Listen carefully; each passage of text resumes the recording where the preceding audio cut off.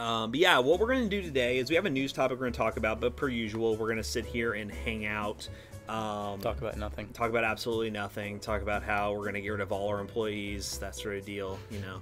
Um, but yeah, just kind of hang out and have a fun time. We ready to read about these processes? I think dude? I'm ready to read about them. Let's just see what's going on here. So I was doing my normal. Oh my god. Oh my god. Hey Elgato, Corsair, if you're watching this, can you send us something new? Thanks. All right, here we go. Today we're going to be taking a look at these names that have a they're just like ridiculous, honestly. Ryzen 5 Pro 4650G, which is going to be a 6 core, and the Ryzen 3 Pro 4350G. Why are they Pro? I don't know yet. But Renoir. it looks like they are going to be on par in terms of CPU performance with what third gen is right now. Which, for those who don't know, the APU lineup normally works like this. You know, you have the 3200G. It's technically based on what second gen Ryzen is based off of, but what we're looking at right here, basically the gist of this article is the Ryzen 5 4650G is going to be a 6-core 12 thread. It's going to have a base clock of 3.7 gigahertz and a boost of 4.3, which I saw on here Will a also. monitor turn on without a graphics card. Well, I am building my first PC, but I need the graphics card.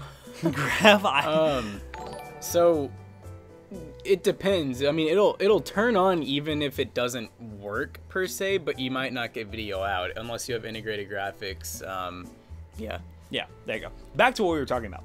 Uh, but basically, comparing it to the 3600X, we have a 2% increase in base and boost clock over uh, the APU. So 3600X is definitely going to be a little bit better. But in terms of a Cinebench score, I think it's like within a few percentage here and there.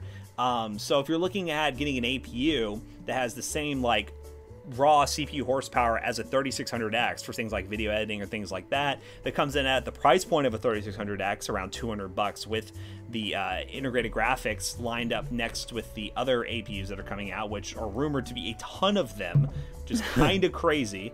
Uh, we'll have all the way up from an 8 core 16 thread 4700G, which we talked about before, all the way down to it looks like a 4 core 8 thread. That seems to be the um, lowest core count, which is pretty awesome. Yeah, to that is see. great. Um, and these are probably going to be like 3300X, 3100 levels. But hopefully they produce enough of these because that seems to be a big problem right now. Um, let's see. But yeah, it shows right here uh, in terms of multi-core performance, you're looking similar performance to a Ryzen 5 3600 with the 4650G, um, getting these uh, these Geekbench scores that were leaked. Um, and in terms of the Ryzen 3 4350G, uh, it looks like we're about the same as the 3300X, a slight difference in terms of single core, which is okay here or there. Um, but yeah, the the 3300X ones are going to be nice because you're going to get that APU graphics, and they're going to be even more powerful in terms of slapping in a graphics card to upgrade in the future. Um, so pretty pretty excited to check those out. Um, but yeah, no, I think these are going to be really exciting. It looks like a date right now is the 21st of July, which Wait. at that range, that is like really soon. that That's like tomorrow. so if uh, this is true and we see an official launch tomorrow, uh, that'd be pretty awesome. Um, I can go ahead and say we have heard absolutely nothing. Nope. So uh, you know that's that's what's up. Yo, Christopher Yee, how you doing, buddy? We're just we're not important though. What is this? What is this? This is a pre-build. Better not be a pre-build. Is it a pre-build? Oh dear God. Well, look at that. What is AED? Here, let me open it up on here. I feel, what the heck is this? Okay, anyways, kind of abrupt stop here, but hey, in terms of these APUs, definitely gonna be doing PC builds with them. You already know, we'll be doing some cool stuff with them, some mini ITX builds. I think a mini ITX build with this 4700G would look pretty yeah. dope for a little workstation PC. um, if these prices are true, these prices look pretty comparable. 4200G for 139. Thanks, Um, guys. I am building your $1,400 build in H510 case.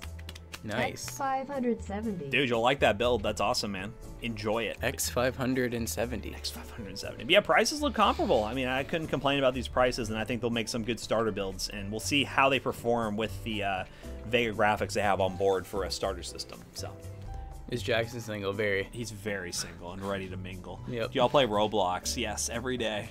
It's it's part of our team bonding. We go in there and we play Roblox together. Posted my updates on my system today. Yeah, we'll check out setups on Wednesday. I don't think we have anything else going on. Uh, Newegg now will be Friday per usual. So, all right, guys, thank you very very much for watching. Go give him all the support in the world. Um, yeah, that's about it. We're going to start making some videos today, being productive. Thank you all for hanging out today.